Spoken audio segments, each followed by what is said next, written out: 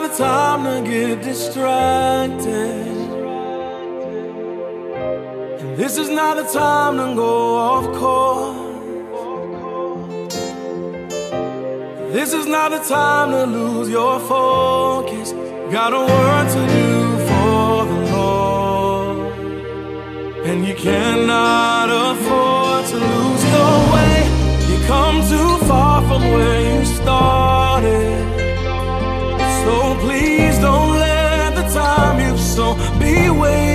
head on things that you later regret, wishing you never had. Once you realize it wasn't worth it, your destiny is too important to give up for.